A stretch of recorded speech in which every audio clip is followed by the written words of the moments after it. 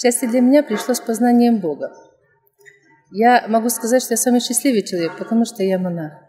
В монашеском служении, в служении людям через Бога и через Христа, через, через Церковь, я получаю большое утешение и в этом считаю свое счастье.